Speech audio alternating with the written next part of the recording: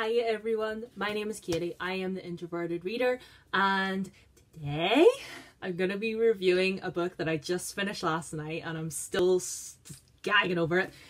Unravel Me by Tahereh Mafi. I finished it last night, like I said, and it was so good. It was so good. It was so good. It was so good. It was so good. I'm swinging around in my chair. I'm so excited.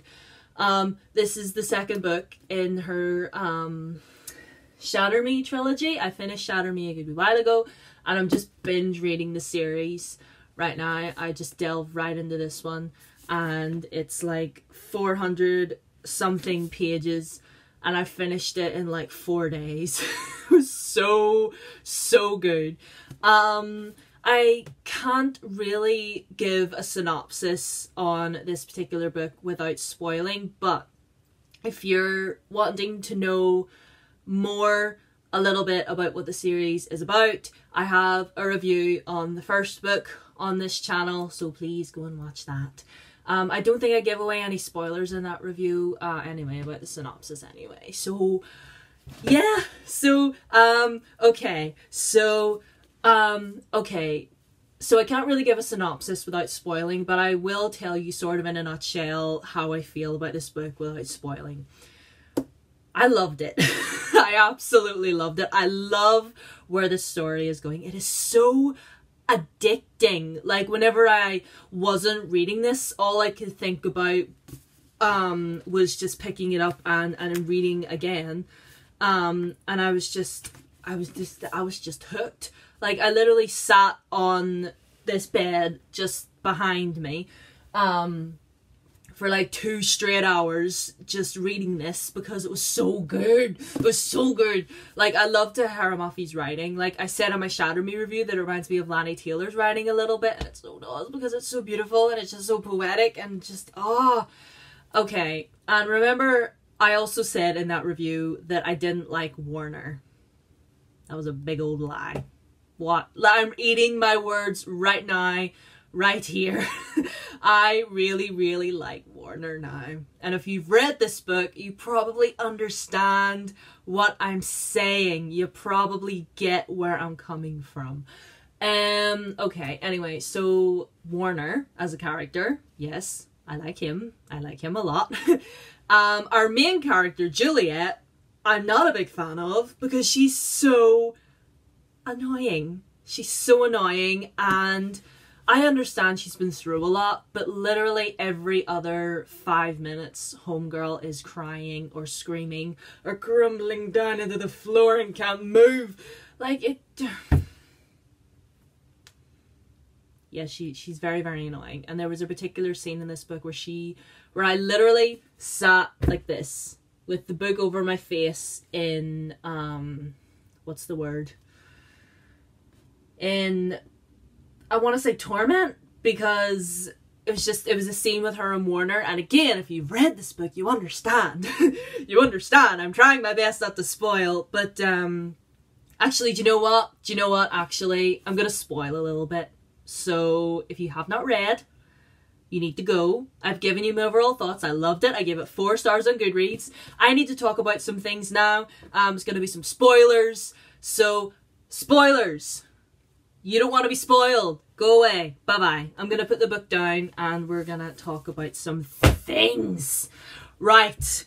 Okay. Right. So I assume if you're still watching, you've either read this book or you've read um this series anyway i know i'm late to the party i know it's been out for like four years or something but you've something on your face sorry about that oh let's fix yourselves okay the scene with Warner and Juliette and they're having their like full on make out session. Things are getting hot and heavy. Garments of clothing are being removed. Like she's literally in her underwear. He's half naked. And they're like, oh, they're getting to it. And she just goes, Adam. And I'm like, no, no. As soon as I saw that, I was like, she's gone and ruined everything. Like, just. I just I wanted to reach through the book and slap her across the face. Like I understand, okay? I understand. She still cares about Adam. She always will. He was her first love. I understand that.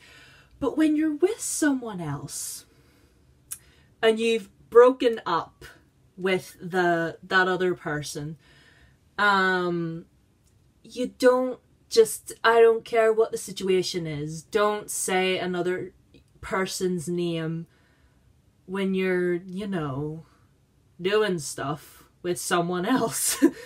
I mean, uh she's just so messed up in the head to be honest with you. Um I love Warner and I like Adam. Um I'm not really Juliette's big fan. But like Ugh, I don't think Homegirl should be with any of them, to be honest with you. I think she's just too messed up in the head and shouldn't be with anyone because mentally and emotionally, I don't think she's there. Because, like, I was watching a review um, of this book um, last night. Um, Christine over at Poland Bananas Books um, her book talk, which I understand was uploaded a couple years ago, but I like watching her videos. If she has a book talk on a certain book that I haven't read, I like to watch her videos once I've read the book. So anyway, I was watching it last night and she was saying how Juliette and Adam don't really go all that well together because Juliette was just too dependent on him do you know what I mean? Like she, and that is so true. That's so true. Like she leans on Adam like he's her emotional crutch. And if he is gone or if something happens, like she, it's like she literally can't be on her own unless he's there.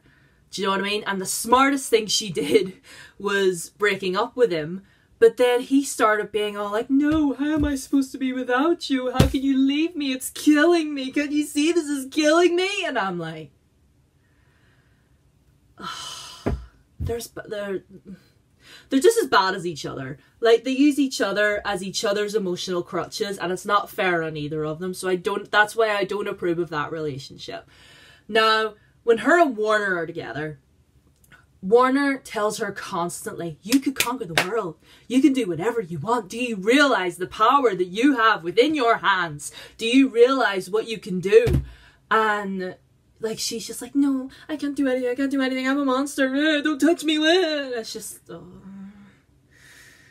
Uh, she is just so frustrating.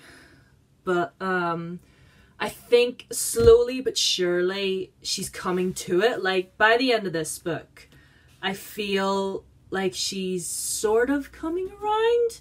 Kind of. There were moments in this book where I was kind of thinking, okay, maybe she's coming around because she would say like um because like the whole thing whenever she broke up with with Adam and she was talking about how it's not fair on him and I need to learn to be on my own and da, da, da, da. and that's that that speech that Kenji gave her and Kenji by the way I adore like, as far as favourite characters go, it goes for me Kenji, Warner, and then James, who is Adam's wee 10 year old brother. He's precious. I love him.